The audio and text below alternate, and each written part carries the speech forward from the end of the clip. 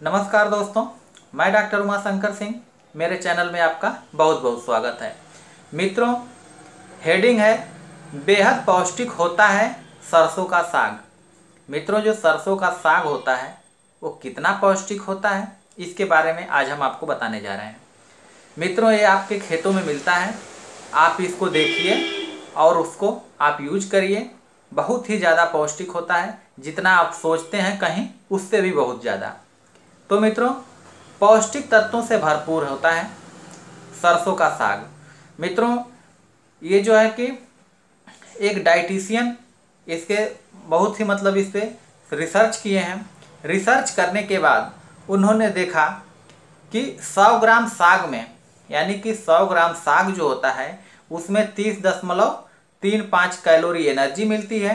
इसके साथ ही कार्बोहाइड्रेट दो दशमलव चार एक ग्राम कैल्शियम एक सौ इक्यानवे milligram, zinc zero point six eight milligram, vitamin C साठ दशमलव थ्री टू मिलीग्राम, आयरन दो दशमलव आठ चार मिलीग्राम। मित्रों, आयरन बहुत ही महत्वपूर्ण चीज़ है, जो कि इसमें दो दशमलव आठ चार मिलीग्राम मिली, मिल रही है।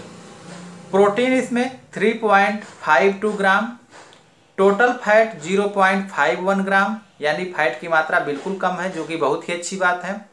मित्रों, फास्फोरस सेवन, सेवेंटी वन, यानी कि इकहत्तर दशमलव छः दो मिलीग्राम।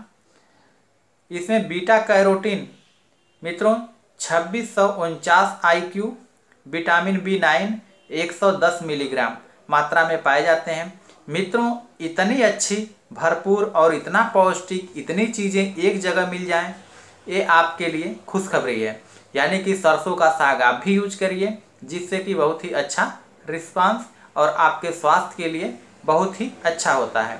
तो मित्रों, इसको जो है, मैं, मित्रों, एक चीज़ और जानिए। सबसे खूबसूरत चीज़ है, मिट्टी की हांडी में बनता था स्वादिष्ट साग। यानी कि जो मिट्टी का बर्तन होता है, ग्रामीण क्षेत्रों में मित्रों बनाया जाता था पहले। आज की डेट में तो नहीं बनाया जाता, लेकिन पहले बनता था। तो मिट्टी की हांडी में बनता था स्वादिष्ट साग, जो इसका साग होता था, बहुत ही स्वादिष्ट बनता था। मित्रों, लिख रहे हैं, इन्होंने, जिन्होंने इस पर रिसर्च किया है, किसी समय कच्ची मिट्टी के बने चूल्हे में लकड़ी की आँच पर मिट्टी की हांडी में सरसों का साग बनाया जाता था। समय में तेज़ी से बदलाव और मिट्टी, हांडी, कच्चे चूल्हे व लकड़ी की आँच का प्रचलन तकरीबन ख़त्म हो गया। अब तो गैस पर कुकर में बने सागों का वो पुराना स्वाद नहीं रहा।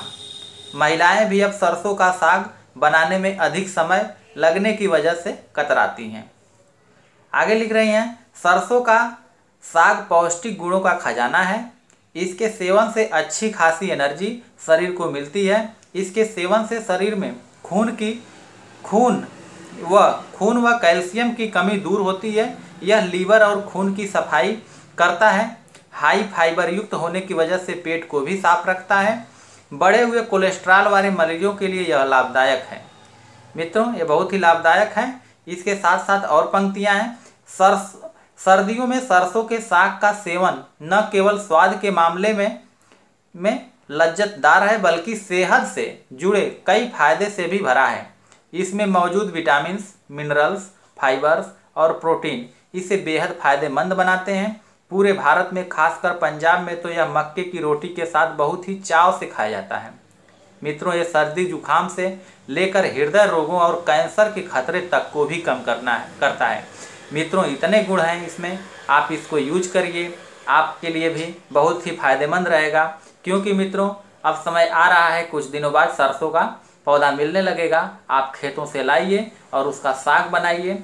कम से कम रोज नहीं तो दो तीन दिन या चार दिन पे बना के एक बार अवश्य खाइए। मित्रों, ये सरसों का पौधा इतना कमाल का और पौष्टिक सरसों के पौधे से जो बनता है साग, उसको खाएँ। आपके सेहत के लिए बहुत ही फ़ायदेमंद है, यानी कि असीमित फ़ायदे हैं। मित्रों तो मेरी बस यही गुजारिश है कि आप इसको यूज़ अवश्य करिएगा। धन्यवाद। मेरे इस चैनल को लाइक एंड शेयर भी कर लीजिए, उसके साथ साथ सब्सक्राइब अवश्य कर लीजिए, ताकि मैं जो भी वीडियो बनाऊँ आपको आसानी से मिल जाए। तो मित्रों फिर जय हिंद धन्यवाद।